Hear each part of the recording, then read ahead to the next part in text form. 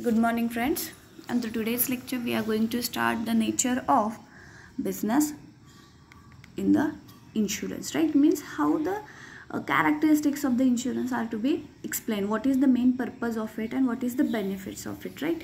So we started with the uh, main function or the main characteristic is the sharing of risk. When the insurance business was started, guys, when the insurance business was started, the main agenda behind this is to provide the compensation for the goods which is valuable for you. And apart from that, then it is provided for the life. But the main agenda behind it is to sharing the risk because the risk arises in front of anybody. If you are the part of a group, let me consider that you are the part of 10, uh, 10 members, a group of a 10 members, and the risk uh, regarding your life or regarding your business maybe arise for every uh, anybody. And with the help of insurance everybody contributes some money and uh, who faces the risk he get the benefit of it. Means here the main characteristic of the insurance is sharing the risk. Sharing the risk in the sense you have to contribute some amount as per your capacity and whatever the fund is collected that fund is distributed to the sufferer. Okay the insurance is the device to share the financial losses. Might be arise to the individual or his family happening in the specified event. Okay even in the general insurance there is a fire uh, fire insurance is there or you can say the uh, home uh, bulgari insurance is there marine insurance is there the main agenda behind such types of insurance is also that the sharing of a risk कारण एखाद्याला risk घेणं परवडत नाही so सगळ्यांनी मिळून त्याची risk bare करायची कारण आज माझ्यावर वेळ आहे उद्या तुमच्यावर ही वेळ येऊ शकते so the group members or the those who are the policy holders of the particular company are interested to share that risk. Okay the next one is the cooperative device. Always remember. Uh, means uh, insurance is the most feature is the every insurance plan is the cooperative and the large basis of the personal who in the effect to agree the share of risk. Means those who are ready to agree the sharing of risk they can be the member of that particular group so it is a cooperative device always remember is arise due to the particular risk which is insured such a group of the person may bought uh, together the voluntary and through the publicity or through the uh, solic- uh, solicitation of, of a agent म्हणजे हे जे काही policy holders आहेत हे त्यांच्या इच्छेने एकत्र आलेले आहेत त्यांच्यावर कुठलं बॅरियर नाही आहे तिथे they are came together voluntarily which help them to cover the risk right the next one is the value of risk value आता एक लक्षात घ्या. In front of any customer various types of risk are arises the risk is evaluated before the insuring to the charges of the amount in the share of insured herein called as the consideration of premium आता एक लक्षात घ्या की जेव्हा एखादं policy आपण उतरवतो तेव्हा त्या पॉलिसी उतरवण्याच्या मागं जे काही सम ॲश्युअर्ड आपण घेत असतो ते सम ॲश्युअर्ड आपल्याला जे काही पैशाची गरज लागेल जर समजा if we sufferer from the losses त्याच्या बेसिसवर आपण ते सम ॲश्युअर्ड ठरवतो.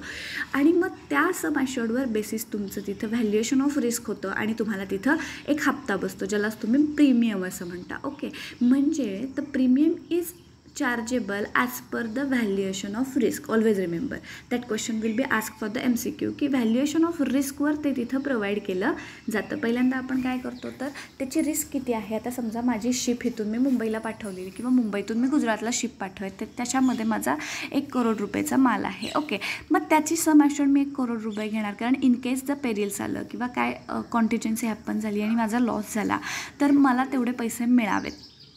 आणि त्या जी काही सम मी ठरवलेली आहे त्याच्या बेस्ट मला तिथं प्रीमियम मिळतो. So the value of risk is also the characteristic of insurance next one is the payment at the contingency contingency म्हणजे तुम्हाला जे येणारे जे संकट आहे ते अचानक उद्भवणार आहे ना? सो तिथं पेमेंट ॲट द कॉन्टिजन्सी मिळतं. The payment is made on the certain contingency insured if the contingency occur the payment is made since the life insurance contract is the contract of certainty because the contingency the death or the expiry of the term will be certainly the payment in the certain म्हणजे एक लक्षात घ्या की general insurance आणि life इन्शुरन्समधला फरक काय असतो? तर जनरल इन्शुरन्स मी माझ्या मालाचा केलेला आहे मी माझ्या गाडीचा केलेला आहे मी माझ्या घराचा केलेला आहे माझ्या व्हॅल्युएबल थिंग्सचा केलेला आहे. If any contingencies happen then and then only the benefits or you can say the com compensation given to me if any contingency happen if the losses are arise otherwise whatever the premium I paid it is submitted to that particular company it is not repayable to you okay म्हणजे जर काही झालं तरच म्हणजे मी समजा माझ्या गाडीचा insurance केलेला आहे वर्षभराचा असतो तो टर्म इन्शुरन्स असतो राईट आणि त्यामध्ये जर माझी गाडीत धडकली तरच मला पैसे मिळणार आहेत अदरवाईज मिळणार नाहीत. पुढच्या वर्षी मला पुन्हा त्याचा इन्शुरन्स करायला लागेल पुन्हा त्या वर्षामध्ये जर गाडी धडकली तरच मला पैसे मिळणार आहेत. म्हणजे here you have to confirm that की if any contingency or the losses has arise then and then only it is repayable.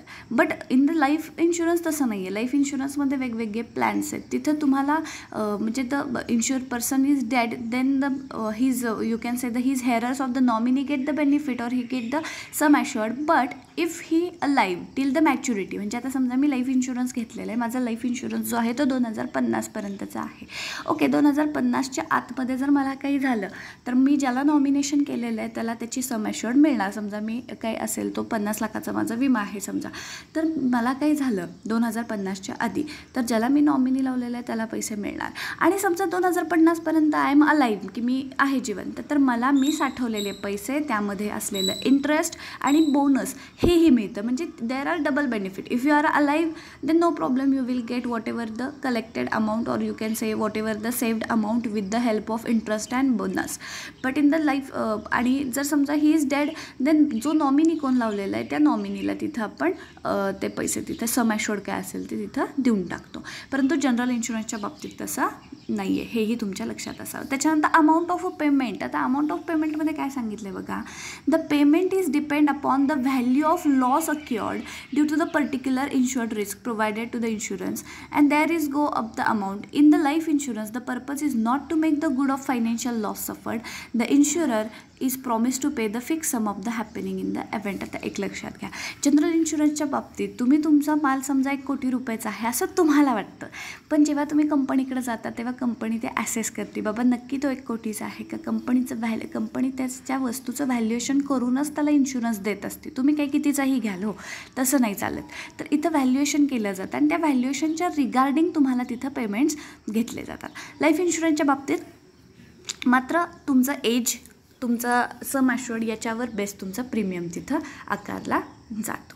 आलं लक्षात? आता नेक्स्ट सांगितलेलं आहे बघा large number of insured person to spread the loss indemnity smoothly and cheaply the large number of person should be insured a cooperation of the small number person uh, a cooperation of the small number person of the person may not be insured but it will be the limited to the small area the cost of insurance of the member insurance each member may be high it may be the unmarketable म्हणजे बऱ्याच वेळेस असं होतं की large number of insured person आजकाल इन्शुरन्सचं हे खूप झालेलं आहे. महत्त्व लोकांना खूप जास्त कळालेलं आहे. So everybody take the insurance whether it is general or whether it is life insurance life इन्शुरन्सचा जो काही शेअर आहे तो in the last lecture I give you it is the ninety eight प it is near about the ninety eight percent आणि बाकीचा जो twelve percent आहे it is about the general insurance अजूनही माणसांना व्हॅल्युएबल्सचे इन्शुरन्स करणं हे ही कन्सेप्ट अजूनही पटत नाही.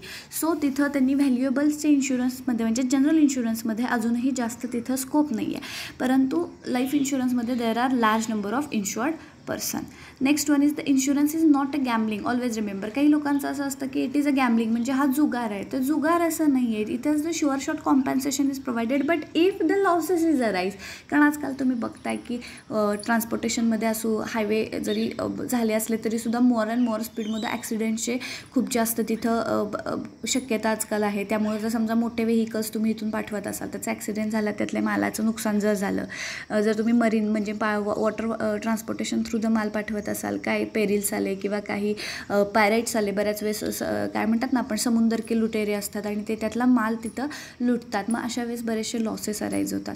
तर आता बऱ्याच वेळेस असंही होतं बरं का मी आता एक केस तुम्हाला सांगते की भारतातनं एक वर्षी द्राक्ष ही जपानला पाठवली गेलेली होती. आणि you know the grapes is very very fragile crop okay आणि ते पाठवताना water transportation is the lengthiest transportation ever सगळ्यात वेळ लावून वेळ खाऊ पद्धत जी काही आहे ती वॉटर ट्रान्सपोर्टेशनची राईट आणि मग त्यामुळं काय झालं ते तिथं पोचेपर्यंत ते सगळे जे द्राक्ष आहेत तसे लालसर वगैरे किंवा खराब लागले खराब झाले. आणि जपानवर जेव्हा ती शिप पोचली तेव्हा Japan deny to accept that stock Japan म्हणणं नाही नाही असला घाणेरडा मला मी घेत नसतो. आता करायचं काय? आलं लक्षात? म्हणजे when any countries deny to accept your commodities even it is transported toward that country म्हणजे तिथं माल पोचला आहे माझा खर्च झाला आहे तो माल तिथंपर्यंत पोहोचवण्याचा. आणि आता ती कंपनी जर डिनाय करत असेल किंवा कंट्री डिनाय करत असेल तर अशा वेळेस मोठे लॉसेस अराईज होतात. मग अशा वेळेस जर इन्शुरन्स असेल तर definitely you will free from that म्हणजेच इथं it is not a gambling it is it is a sort of a coverage because काय असतं व्यापार म्हटलं किंवा ट्रान्सपोर्टेशन म्हटलं किंवा हे जनरलच्या बाबतीत मी तुम्हाला सांगते. कधी कधी फायर इन्शुरन्स पण होतो. आजकाल बघताय तुम्ही की कालच किती मोठा पाऊस झाला. ज्या काही विजा पडत होत्या त्या विजा विजेच्या म्हणजे त्या ज्या काही थंडर्समुळं आग लागण्याची शक्यता जास्त असते. आता क्रॉपमध्ये हे मोस्टली होतं बघा. क्रॉपमध्ये तर डेफिनेटली होतं. कारण कसं होतं झाडांवर पहिली वीज पडते तुम्हाला माहिती आहे सायंटिफिक रिझन आणि त्यामुळं मग काय असतं की शेतामध्ये झाडं खूप असतात त्याच्यावर वीज जर पडली तर त्यामुळं ऊस जळू शकतो किंवा काय. तुम्ही पेपरला वाचता बघा पावसामुळं. किंवा वायर पडल्यामुळं वि एवढ्या एकरातला वीज जळून वी ऊस जळून खाक वगैरे वगैरे. मग त्याचा जर तुम्ही क्रॉप इन्शुरन्स घेतला असेल तर डेफिनेटली तुम्हाला त्याचा फायदा होतो. अदरवाईज काय होतं हे नैसर्गिक आपत्तीमुळं झालेलं नैसर्गिक आपत्ती कधी येऊ शकते हे तुम्हाला माहीतच आहे. आता सध्याचा एक जनरल इन्शुरन्सचा मुद्दा सांगतो की you are facing with the COVID ninety okay? सगळेजण आपण कोविड नाईन्टी पेंडॅमिक्समधनं जातो तर त्याचेही आता जनरल इन्शुरन्समध्ये बऱ्याच लोकांनी तिथं बऱ्याच कंपन्यांनी तिथं काय केलेले आहेत तर स्वतःचे इन्शुरन्स तिथं काढलेले कंप इन्शुरन्स काढलेले आहेत. आता कोविडचा जर मी इन्शुरन्स घ्यायचा ठरवलं समजा मी आज इन्शुरन्स घेतला ओके आज मला थोडीशी सर्दी वाटली समजा म्हणून मी आज इन्शुरन्स घेतला कारण मला थोडी भीती वाटते म्हणून. ओके आणि मग मी आज इन्शुरन्स घेतला आज तारीख आहे तेरा तारीख ओके आणि त्याच्यानंतर मी पाच दिवसानं जाऊन जर हॉस्पिटलमध्ये ॲडमिट झाले आणि आय एम आय एम माझा कोविड नाईन्टीनचा जो काही कोविडचा जो काही रिपोर्ट येतो कोविडचा जो काही रिपोर्ट आहे माझा तो समजा पॉझिटिव्ह आला. तर मी काय म्हणणार आता चला माझ्याकडे बाबा इन्शुरन्स पॉलिसी आता माझा सगळा खर्च भागेल. म्हणजे असं कोणीतरी त्या कंपनीला फसवू पण शकतं. म्हणजे already he suffering from the any disease आणि he take the health health insurance आणि तो त्या कंपनीला फसवू पण शकतो. म्हणून हेल्थ इन्शुरन्सच्या बाबतीत आपण फिफ्टीन डेजचा काय दिलेला असतो तर वेटिंग पिरियड दिलेला असतो. म्हणजे आता समजा आता कोविडच्या बाबतीत तो फिफ्टीन डेजचा आहे. की तुम्हाला माहीतच आहे चौदा दिवसानंतर कोविडचे इफेक्ट्स कळायला सुरुवात होते इन्फेक्शन झाल्यानंतर. मग त्यामुळं एखाद्यानं जो कोविडचा इन्शुरन्स घेतला असेल म्हणजे कोरोना इन्शुरन्स जर त्याला घेतला असेल तर त्यांना आज घेतला असेल समजा आज दहा तारीख असेल तर त्याचं कवरेज जे आहे ते पंचवीस तारखेपासून चालू होणार. आलं लक्षात? म्हणजे इथं फसवेगिरीसुद्धा होऊ नये. यासाठी कंपन्यांनी वेगवेगळे रूल्ससुद्धा तिथं केलेले असतात. बिकॉज काय इन्शुरन्स कंपन्यांना सुद्धा तिथं काय करायचं तर स्वतःचा बिझनेस तर वाढवायचाच आहे. आणि प्लस लोकांनाही बेनिफिट द्यायचं आहे कारण कसं असतं इथं it is not a gambling they have to create the trust in the market and for that they have to provide the compensation if any if any contingency happens त्यामुळं कंपनीसुद्धा त्यामध्ये वेगवेगळ्या प्रकारचे रूल्स करत असते. आता फॉर एक्झाम्पल तुमच्या बाबतीत एक सांगते की तुम्ही मोबाईल घ्यायला जाता ओके आता मोबाईल घेतला तुम्ही सॅमसंग घेतला किंवा कुठला विवो घेतला किंवा ओप्पो घेतला काही तीस ते चाळीस हजार रुपयाचा तुम्ही फोन घेतला. त्याला इन्शुरन्स आहे असं तुम्ही म्हणता. अरे पण you have to read for what they provide the insurance कशासाठी त्यांनी इन्शुरन्स दिला? तुम्ही रीड केलं पाहिजे. तर तो सॉफ्टवेअर डॅमेजसाठी दिलेला असतो. चोरीसाठी वगैरे दिलेला नसतो. हे डोक्यात असू दे तुमच्या. म्हणजे कसं होतं आता हे छोटे जे काही फोन आहेत चाळीस पन्नास हजारापर्यंतचे यांना चोरीसाठी कधीच इन्शुरन्स दिला जात नाही. ह्याला फक्त सॉफ्टवेअर डॅमेज की बाबा पाण्यात पडला सॉफ्टवेअर उडले किंवा काय व्हायरसेस आले तर त्याला ते इन्शुरन्स आहे. परंतु चोरीचा तिथं मिळत नाही. काही जणांचं असं होतं की बाबा माझा फोन चाळीस हजाराचा चोरीला गेला आहे आता माझ्याकडे इन्शुरन्स आहे आता मला नवीन phone no note at all you have to read it the policy regarding insurance of your mobile phone ॲपलसारख्या फोनला चोरीसाठी इन्शुरन्स आहेत. परंतु ॲपलसारखा फोन चोरायची कोण हेच करत नाही. धाडसच करत नाही. कारण तुम्हाला माहीत आहे की त्याचे जे ट्रॅकिंग आय डीज आहेत त्याच्यावरनं तो लगेच सापडू शकतो. म्हणजे कंपन्यासुद्धा हे इन्शुरन्स प्रोव्हाइड करत असताना थिंकिंग करून रूल्स अँड रेग्युलेशन करूनच ते प्रोव्हाइड करत असतात. कारण त्यांचं पण एक आहे की आपल्यालाही प्रॉफिट झाला पाहिजे आणि त्याचबरोबर काउंटर पार्टीलाही कॉन्टिजन्सी हॅपन्स तर त्यांना तिथं त्याचा बेनिफिट मिळाला पाहिजे. तर it is all about the nature of insurance regarding this the P D F immediately I shared on the group you have to note down that points you have to write that points because the examination will be conducted on the M C Q so you have to note down that points regarding it I am again revising what are the characteristics the first characteristic is the sharing of risk sharing of risk means uh, whatever the policy holders uh, giving the premium whatever the fund is collected by through this method it is given to the sufferer. Okay. Next one is the cooperative device. Those who are the member of the company they are uh, com- com- came as a uh, on the voluntary basis. It is not buried by a- anybody okay? Next is the valuation of risk whether it is life or uh, whether it is uh, valuable goods uh, लक्षात घ्या. आता बऱ्याच वेळेस असं असतं की एखाद्याला already काहीतरी आजार असतो हां? Who is suffering from the diabetes or the sometimes is suffering from the cancer as well तर अशा कस्टमरला सुद्धा इन्शुरन्स मिळू शकतो बरं का? असं काही नाही आहे बिकॉज एक लक्षात घ्या कुठलाही कस्टमर जेव्हा एल आय सीकडं जातो तेव्हा he is the customer so त्या त्याला सोडणं एल आय सी कधीच परवडू शकत नाही. म्हणून एल आय सी त्यालाही इन्शुरन्स देते. पण देत असताना त्याला काही टर्म्स अँड कंडिशनच्या नावाखाली देते. म्हणजे समजा त्यानं एक कोटीचा इन्शुरन्स मागितला असेल तर त्याच्या मेडिकल आपण बघ करतो.